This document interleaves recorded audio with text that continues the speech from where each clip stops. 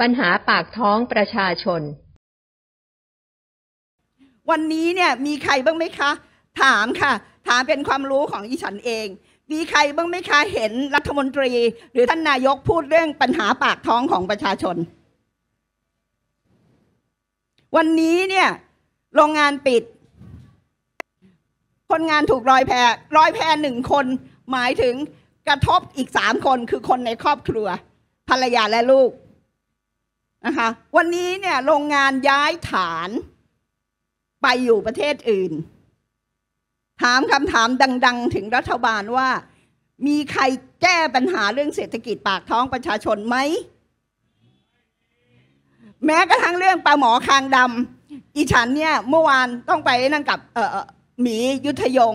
มีทางสื่อก็ถามพี่ลงน้ำนะ บอกเออ ปัญหาปลาหมอคางดำทำยังไง เราต้องเอาคนที่เขารู้เรื่องจริง แล้วก็คนที่เขาตามเรื่องนี้เรื่องนี้เป็นปัญหามานานแล้ว แล้วเราก็แก้กันอยู่นะคะ เหมือนปัญหาเรื่องหอยเชอรี่จำได้ไหมเหมือนปัญหาเรื่องบัตทังก้า วันนี้ปาทังก้าเขาทำฟาร์มกันแล้วไอ้ตั๊กแตนปาทังก้าคนไทยกิน แล้ววันนี้เนี่ยออองค์การ FAO ก็บอกแล้วว่าไม่ว่าจะปาทังก้าหรือตัวตัวอ่อนของแมลง ซึ่งเป็นอาหารที่ให้โปรตีนสูงมากนะคะยันมาพูดหน้าคนอโศกต้องพูดเรื่องผักเนาะ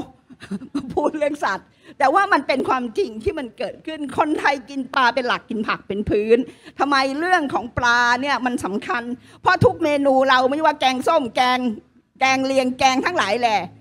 เป็นสัตว์น้ำทั้งนั้นใช่ไหมคะแล้วเราเนี่ยอาหารเมนูจริง ๆ เราไม่ใช่เนื้อไม่ใช่หมูนะอาหารไทยเนี่ยแกงส้มใช้อะไรสักนั่นล่ะปลาปลาทั้งนั้นแหละบ้านเราอะปลาแดดเดียวปลาแดกปลาล้าใช่หมดเลยปลาจอมปลาเจ้า ใช่หมดเลยปลา เพราะฉะนั้นคนไทยเนี่ยเก่งปลา แล้วอาหารไทยจริง ๆ คือเมนูคือปลากินปลาเป็นหลักกินผักเป็นพื้น อันนี้นี่คือคือปรัชญาการดำรงชีวิตที่แท้ของคนไทยแท้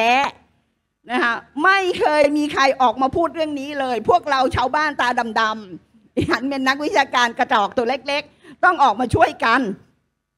นะคะว่าปัญหามันเกิดจากอะไรเราจะแก้กันยังไงไปดึงคนที่เขาเชี่ยวชาญต่างๆ มาช่วยแม้กระทั่งเรื่องปลาดุก วันนี้ก็เลยกาถามตัวเองว่าเราเป็นอะไรเนี่ย